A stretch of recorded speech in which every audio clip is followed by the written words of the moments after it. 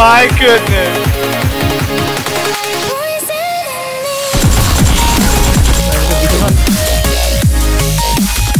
Ah.